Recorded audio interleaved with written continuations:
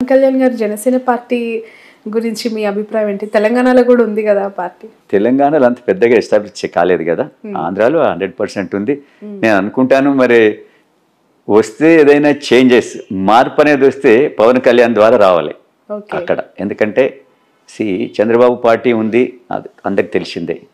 Pawan Kalyan add అయినప్పుడు ఏదైనా వస్తే మార్పు రావాలని అనుకుంటున్నాను. వస్తే ఇప్పుడు మార్పు రావాలా? మీ మెసేజ్ ఏంటి? అంటే ఖచ్చితంగా ఏదో ఒక నియోజకవర్గం నుంచి ఎంపీగా బరిలో దిగుతారు అనేది మాకు అర్థమవుతోంది. మీ సర్వీసెస్ ఏ విధంగా ఉండబోతున్నాయి? ఏం మెసేజ్ ఇవ్వాలనుకుంటున్నారు? నా సర్వీసెస్ చూడండి. ఈరోజు హైదరాబాద్ మెగా సిటీ అయింది. దాదాపు వన్ క్రోర్ అబవ్ పాపులేషన్ ఉంది. ఇంతమందికి ఏ విధంగా రీసోర్సెస్ వాళ్ళకి ఏ విధంగా మనకు ఉండాలి? డ్రింకింగ్ వాటర్ కావచ్చు రోడ్ నెట్వర్క్ కావచ్చు స్కూల్స్ కావచ్చు హాస్పిటల్స్ కావచ్చు. ఇది ఒక ప్లానింగ్ తోటి పోవాలి? ఈరోజు చూడండి మన హైదరాబాద్లో గచ్చిబౌలిలో నలభై అంతస్తుల బిల్డింగ్ వస్తుంది.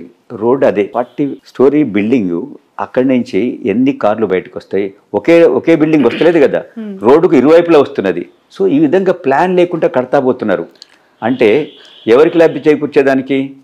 బిల్డర్కి చేసేదానికి. దీనివల్ల ఫ్యూచర్లో చాలా కష్టం అవుతుంది నష్టం అవుతుంది అంటే ఎక్కడి నుంచి అక్కడికి పోలేకుండా అవుతుంది. ఎందుకంటే హైదరాబాద్ ఎంతో పెద్ద ఎత్తున రింగ్ రోడ్ ఉన్నది.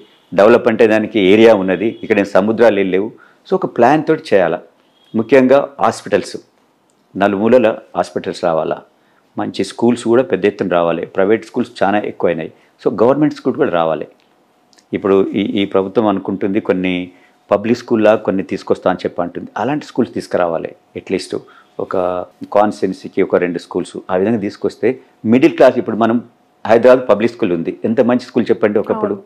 సో అది అందరూ అఫోర్డ్ చేసే స్కూలు ఆ విధంగా స్కూల్స్ ఉండాలి. అంతేగాని సంవత్సరానికి పది లక్షలు ఆరు లక్షలు ఈ విధంగా కట్టే స్కూల్స్ ఉంటే ఎడ్యుకేషన్ అనేది అందరికీ అందుతలేదు. ముఖ్యంగా గవర్నమెంట్ నేను రేపు ఎలక్ట్ అయినాక నా ముఖ్య నా ఫోకస్ ఎక్కడ ఉంటుందంటే మెయిన్ ఎడ్యుకేషన్ అండ్ హెల్త్. ఈ రెండు ఈ రెండు ఉంటే ఏ కుటుంబం ఏ ఇండివిజువల్ అయినా కూడా తనంతట తను ఎదిగేదానికి ఆస్కారం ఉంది. ఈ రెండు లేనప్పుడు ఈ ప్రభుత్వాలు ఎన్ని చేసినా కూడా ఏది కూడా డెవలప్మెంట్ కోసం ముందుకు పోయేదానికి సొసైటీ అంత పెద్ద ఎత్తున పోదు అంత వేగంగా పోదని నేను భావిస్తాను ఓకే. ఫైనల్లీ టూ క్వశ్చన్స్ మీకు. ఫస్ట్ క్వశ్చన్ ఈజ్ సమీపంగా ఎప్పుడైనా ఇన్ ఫ్యూచర్ అనిపిస్తుందా? కళలో అయినా లేదంటే రియాలిటీ అయితే బాగుండు అని. అల్లు అర్జున్ గారు ఏమైనా పొలిటికల్ ఎంట్రీ? అర్జున్ గారు అర్జున్ గారు ఇప్పుడు ఈజ్ యంగ్స్టర్. ఇప్పుడు అల్లు అర్జున్ ఉందా అని అనుకునే వాళ్ళకి? ఆయన ఇంకా ఆయన కెరియర్ చాలా పెద్ద ఎత్తున ఉన్నది. ఇప్పుడు నేషనల్. యాక్టర్ అయిపోయిండు. నేషనల్ యాక్టర్ అయిపోయిండు. రేపు ఇంటర్నేషనల్ యాక్టర్ కావాలి. అదంతా మేము కోరుకుంటున్నాం. ఫస్ట్ మాకు ఏముంది ఆయన ఆయన యాజ్ ఎ యాక్టర్గా he should establish internationally next target అదేనా? హండ్రెడ్ పర్సెంట్ అది. Hmm. అది కావాలి. అదే మా ఒక ఇష్టం. సో చెప్పారా హాలీవుడ్ ఆఫర్స్ ఖచ్చితంగా చేయబోతున్నాను అని? వస్తాయని నేను అనుకుంటున్నాను. ఆయన చెప్పకుండా డెఫినెట్ తనకున్న ఇప్పుడు పేరు తనకున్న ఈ స్కిల్స్ తోటి డెఫినెట్ ఇప్పుడు ప్రతి మీరు చూస్తా ఉన్నారు కదా క్రికెట్ క్రికెటర్స్ కూడా. టాప్ క్రికెటర్స్ కూడా అర్జున్ సినిమా పాటలు ఇవన్నీ మిమిక్రీ ద్వారా చేస్తా ఉన్నారంటే definite he will become international star one more question Pawan Kalyan గారి జనసేన పార్టీని ఇక్కడ బలోపేతం చేయమని ఏమైనా చర్చించారా వాళ్ళతో? మీరు సజెషన్ కానీ మీ ద్వారా డిస్కషన్స్ కానీ? అంటే పవన్ కళ్యాణ్ గారు నాతోటి అది ఎందుకు చర్చించలేకపోవచ్చు అనుకుంటున్నా అంటే నేను ఆల్రెడీ ఒక పార్టీలో ఉన్నా. Hmm.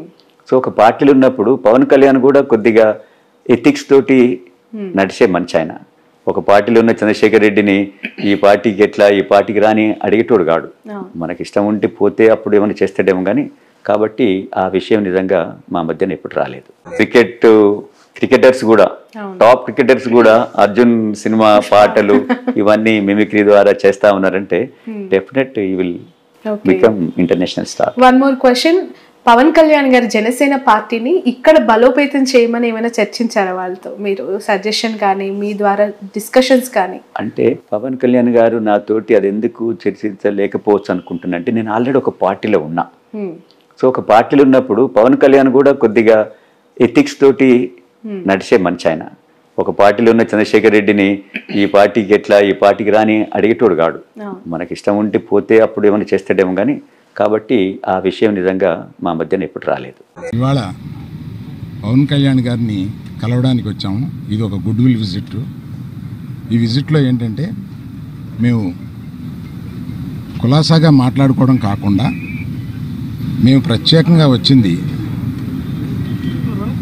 chief minister honourable chief minister గారి అపాయింట్మెంట్ ఇస్తే మా ఇండస్ట్రీ మొత్తం తరలి వచ్చి అంటే మా ఛాంబరు ఇతర అన్ని అసోసియేషన్స్ కలిపి ఒకసారి వచ్చి చీఫ్ మినిస్టర్ గారిని ఉప ముఖ్యమంత్రి పవన్ కళ్యాణ్ గారిని వీరందరినీ అభినందించడానికి ఒక రోజు మాకు అపాయింట్మెంట్ ఇప్పించండి అని అడగడానికి వచ్చాం. వారు తప్పకుండా త్వరలో అది చేస్తామన్నారు. వినపడ వినప చాలా గట్టిగా మాట్లాడతానండి. మీది వీక్ ఏమో చూడండి. ఆ పని మీద వచ్చాం. చాలా మనస్ఫూర్తిగా కాసేపు మాట్లాడి చాలా ఆనందపడ్డాం. త్వరలో మళ్ళీ total representation of the film industry తోటి ఇక్కడికి వచ్చి వారిని అభినందించడానికి మళ్ళీ వస్తాం. థ్యాంక్ యూ వెరీ మచ్ ఏమీ లేదు. ఏమీ లేదు. మీరు అనే టికెట్ అనేది చాలా చిన్న విషయం అండి. దాని గురించి రాలేదు. ఇండస్ట్రీలో విషయాలు కొన్ని మాట్లాడుకున్నాం కానీ రిప్రజెంటేషన్ వస్తుంది కదా అప్పుడు అన్ని సమగ్రంగా మాట్లాడతాం. Thank you thank you very much ఇవాళ పవన్ కళ్యాణ్ గారిని కలవడానికి వచ్చాము. ఇది ఒక గుడ్ విల్ విజిట్. ఈ విజిట్లో ఏంటంటే మేము కులాసాగా మాట్లాడుకోవడం కాకుండా మేము ప్రత్యేకంగా వచ్చింది chief minister honourable chief minister గారి అపాయింట్మెంట్ ఇస్తే మా ఇండస్ట్రీ మొత్తం తరలి వచ్చి అంటే మా ఛాంబరు ఇతర అన్ని అసోసియేషన్స్ కలిపి ఒకసారి వచ్చి చీఫ్ మినిస్టర్ గారిని ఉప ముఖ్యమంత్రి పవన్ కళ్యాణ్ గారిని వీరందరినీ అభినందించడానికి ఒక రోజు మాకు అపాయింట్మెంట్ ఇప్పించండి అని అడగడానికి వచ్చాం. వారు తప్పకుండా త్వరలో అది చేస్తామన్నారు. వినప ఆ, చాలా గట్టిగా మాట్లాడతానండి. మీది వీక్ ఏమో చూడండి.